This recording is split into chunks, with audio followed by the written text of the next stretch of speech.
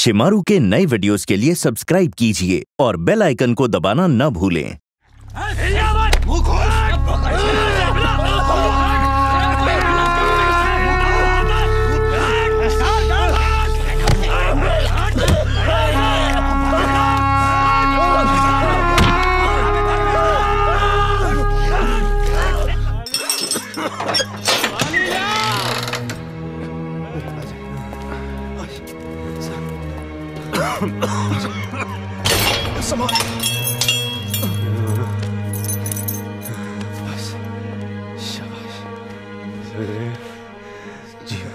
आज बंगाली खून बड़ा जोर मार गया जतिंदा ने वो हाथ पांव चलाए एक हवलदार अभी तक अपना सामान पकड़े बैठा है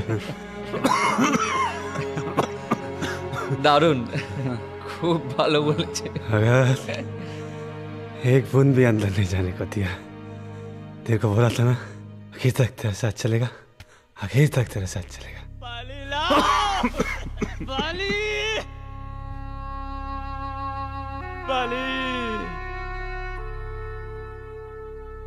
कमीनों ने कल रात से पानी भी नहीं दिया।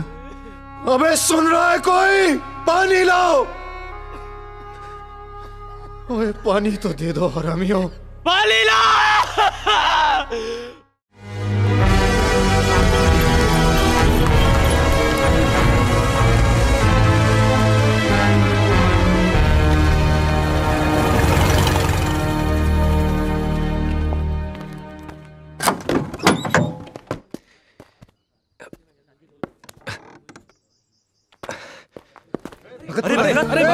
भगत भगत! ए भगत! भगत! भगत! ये क्या पागल बने यार? क्या सुन रहा हूँ मैं? तू बीके और समझा नहीं सकता इसको। तू भी साथ दे रहा है इसका। भूखा रह रहा है तू? क्यों? क्या हासिल हो जाएगा यार तेरे भूखा रहने से?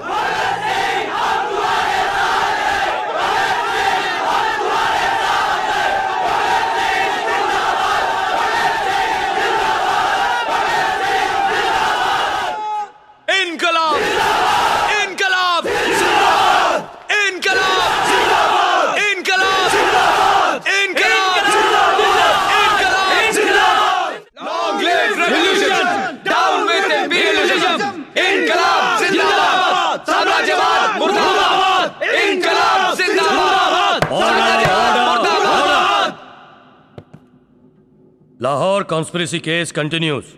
Mr. Cardinal, please proceed. Thank you. Your Honor. Long live revolution! Your Honor. Inqilab Zindabad! Your Honor.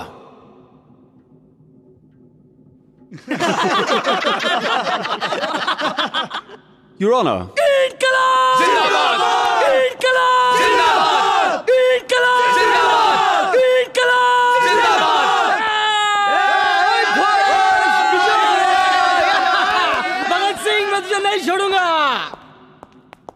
Sir Lahore conspiracy case suspect Shivram Hari Rajguru from Pune हाँ। इसे भी उनके साथ खड़ा कर दो। बढ़ दीजिए कुतरिया हमारी है थैंक यू तू कैसे आ गया? ओ तुम सबके बिना दिल नहीं लगता है यार। हमारा दिल भी नहीं लग रहा था। Your Honor, is this a murder trial or a celebration? ओए जश्न है वकील साहब। इनकलाब का जश्न। इनकलाब। Inkalab? Inkalab? What the hell is your Inkalab? बार बार इंकलाब का नारा लगाते हो इसका मतलब भी समझते हो आप? इनकलाब एक लड़ाई है जुल्म और नाइंसाफी के खिलाफ। इनकलाब एक हथियार है आदमी पर आदमी का शोषण रोकने के लिए। इनकलाब एक ऐलान है देश के नौजवानों को एकजुट करने के लिए। इनकलाब एक चेतावनी है इस बर्बर सरकार को होशियार करने के लिए। इनकलाब एक पुकार है सोए हुए आवाम को उठाने के लिए। इनकलाब एक आवाज़ है दबे हुए जमीर को जगाने के लिए। बहुत बहुत शुक्रिया मतलब समझाने के लिए। समझ ही गए हैं तो आप भी आ जाएँ हमारा साथ निभाने के लिए। Order order please your honour prosecution Lahore conspiracy case का वायदा माफ़ गवाह पेश करना चाहता है। Order order permission granted thank you your honour mister Phanindranath Ghosh को पेश किया जाए।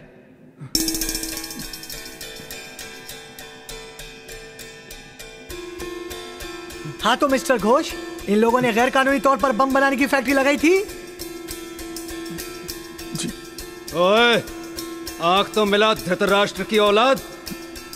नई दुल्हन की तरह शर्माता है क्या रे? विलायत भी ले जा रहे हैं क्या तुझे गद्दार? कुत्ते! ऑर्डर ऑर्डर प्लीज़ तो आपने बम बनाने में इनकी मदद की थी? योर ऑनर हमारे पास इनका लिखा हुआ बयान है जो अदालत में पेश कर दिया गया है सॉरी ऑनर इन साहब की गवाही कोई मायने नहीं रखती ना ये हमारे साथ हैं ना ये बम बनाना जानते हैं এ কি বলছে हमको বোম বানানে নিয়ে आता है ওই তো যতীনদার সামনে দাঁড়িয়ে আমার গুরু ও যতীনদা ওকে বলো না আমি বোম বানাতে পারি না ना না तुम भी जानो ना योर ऑनर इनको बम बनाने को नहीं पता কি বলছো কি তুমি अगर तुम्हें बम बनाना आता है तो बताओ बम बनाने में किन किन चीजों का इस्तेमाल होता है हाँ यार उनका मुश्किल काम है अभी बोलता है अ, বোম বানানো में মেন নটা জিনিস का दरकार पड़ता है गुरु बोलो বলছি हाँ बोलो গান cotton gun cotton gauze wire gauze wire ammonium carbonate ammonium carbonate sulphur sulphur red phosphorus red phosphorus red sulphide red sulphide carbolic acid nitric acid sulphuric acid बस और कुछ बाकी नहीं है कुछ भूल तो नहीं रहे दादा না না আর कुछ नहीं भूल रहे हैं এই, এই, এই, এই, দুটো দুটো জিনিসকে দরকার আরো পড়তা है एक হলো ওই লাল মানে রেড পেপার বোমাকে ক্যাপকে বাঁচতে অ্যান্ড আয়রন পিসেস বোমাকে ক্লিপকে বাঁচতে আর কিচ্ছু বাকি নেই কি যতীন দা ঠিক বলিনি yes you are absolutely correct I am proud of you funny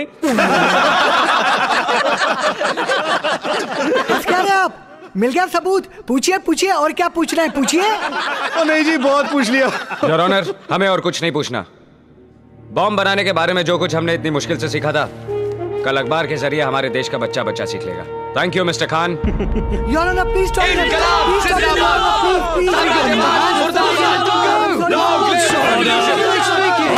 लड़कों ने कमाल कर दिया। अब तो देश का हर बच्चा अपने घर में बम बनाएगा। पंडित जी पहले तो भगत और सुखदेव और साथियों का अलग अलग जेलों में रखा गया था ना। अब तो सुना है कि सभी को एक ही जेल में ले आए हैं। अंग्रेज़ों का बुरा वक्त आ गया है रे!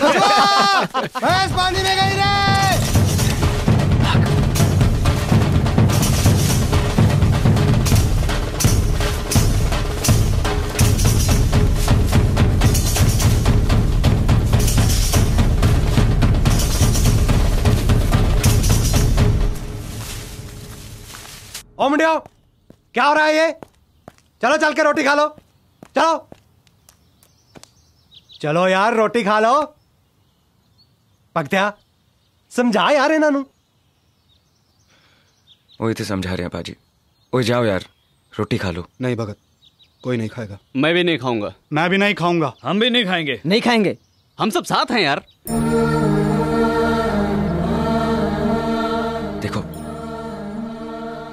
इतना आसान नहीं है।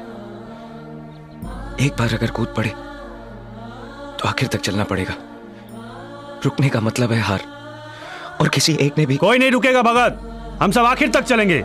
हम टूटेंगे नहीं भगत। हम में से कोई भी कमज़ोर नहीं पड़ेगा भगत। सब आखिर तक लड़ेंगे। रोज रोज मरना पड़ेगा। किश्तों में मौत आएगी।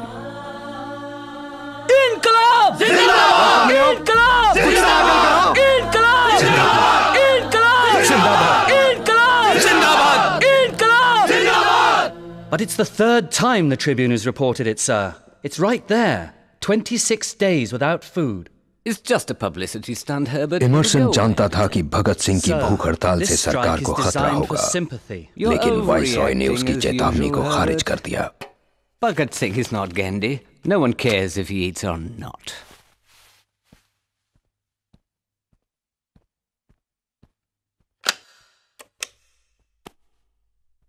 Get me the jailer at Lahore.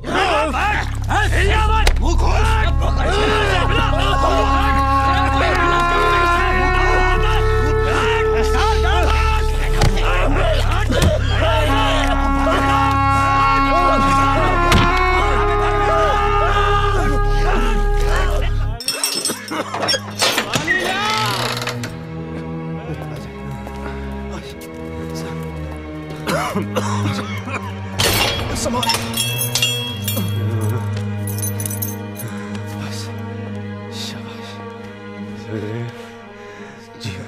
？आज बंगाली खून बड़ा ज़ोर मार गया। जतिनदा ने वो हाथ पाँव चलाए एक हवलदार अभी तक अपना सामान पकड़े बैठा है।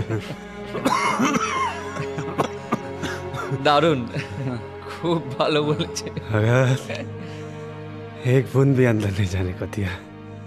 तेरे को बोला था ना कि तक तेरा साथ चलेगा। आखिर तक तेरे साथ चलेगा। बाली! बाली! कमीनों ने कल रात से पानी भी नहीं दिया। अबे सुन रहा है कोई? पानी लाओ! ओए पानी तो दे दो हरामियों। बाली ला! बाली! ये किशोरी भी तो पागल है। कल रात पूरी एक मुट्ठी लाल मिर्च फाक गया ताकि वो लोग गले में ट्यूब न डाल सके। ये साले ट्यूब ही नहीं डाल पाएँगे तो खाना कहाँ से खिलाएँगे? सारा गला जल गया है।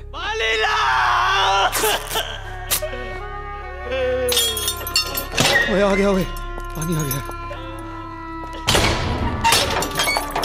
हरामजादे! बास्टर्ड्स साले इंसान की पैदाइश हो या जानवर की? कमीनापन देख भगत, पानी की जगह दूध रखा है सालों ने।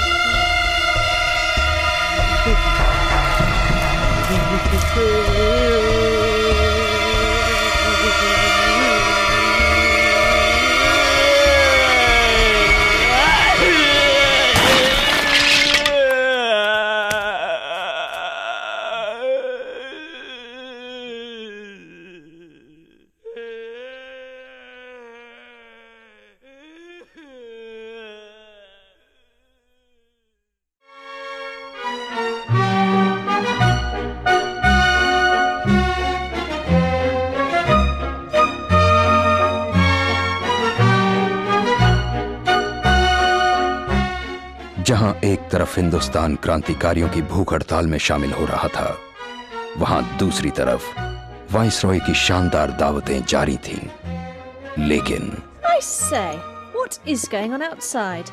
There seems to be some sort of a strike today. I saw that too. Who is this Bhagat Singh that everyone's suddenly talking about? I wouldn't bother too much about that, madam. He's one of those, um, revolutionaries who's gone on a hunger strike as a stunt. But why all the fuss about that? Mr. Gandhi goes on a fast every week, I believe. I just love Mr. Gandhi. Truth and non-violence. That's my kind of enemy. But will somebody please tell me why everyone is so agitated about this Bhagat Singh? Bhagat Singh and his friends have not eaten for the past 55 days, madam. 55 days? My word. That's impossible. The man is looking out for some sympathy. How can a man not eat for 55 days? He has not, madam. Even my family members are fasting for him for the past few days.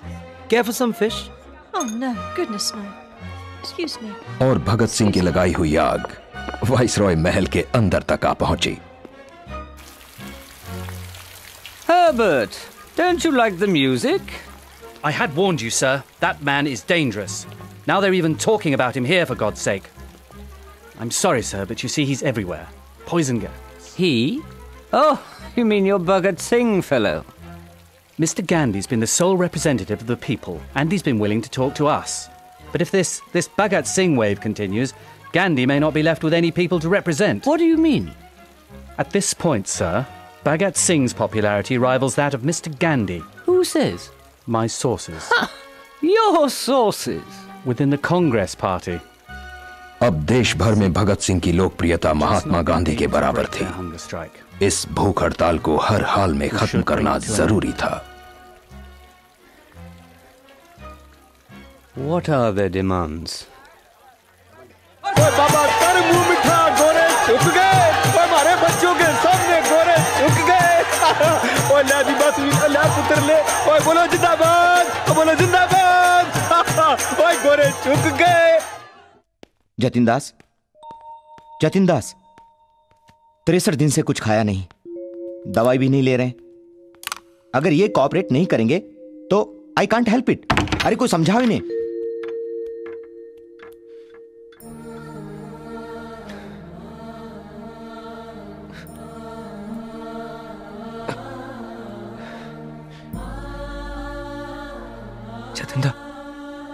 दादा दादा।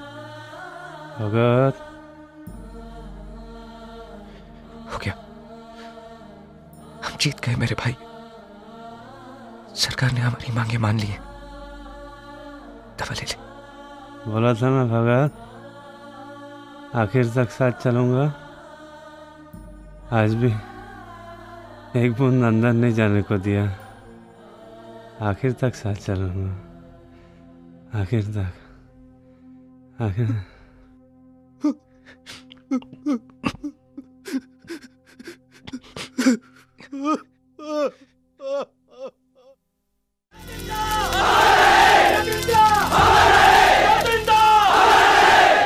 बच्चे की मृत्यु पर मुझे भी खेद है। लेकिन तकलीफ़ के साथ कहना पड़ता है कि यदि जनता इनके रास्ते पर चलने लग गई तो इससे हमारे समाज की रचना नहीं हो सकती। सिर्फ़ विनाश ही होगा। विनाश हमारा मकसद नहीं है। हमारा मकसद है जालिम विदेशी लुटेरों से हिंदुस्तान की आज़ादी। ये संघर्ष खून माँगता है और हम तैयार हैं। अहिंसा और प्यार यही दो तरीके हैं आज़ादी पाने के। और मुझे पूरा विश्वास है कि इस तरह हम दुश्मन का भी दिल जीत पाएँगे। इतने सालों से इस अहिंसा और प्यार के तरीकों से हम कितने जनरल डायरों और कितने लॉर्ड अरविनों के दिल जीत पाए हैं। हम अंग्रेज़ सरकार से बातचीत करने के लिए तैयार हैं। कमज़ोर और ताकतवर के बीच कोई बातचीत कोई समझौता नहीं हो सकता। अंग्रेज़ पहले हमारे घर से बाहर निकले फिर हम इनसे बात करेंगे। हमने डोमेनियन स्टेटस की मांग की है और वो हम लेकर रहेंगे। टोटल इंडिपेंडेंस पूर्ण स्वराज बस। ये हमारा हक है और हम इसे छीन के लेंगे।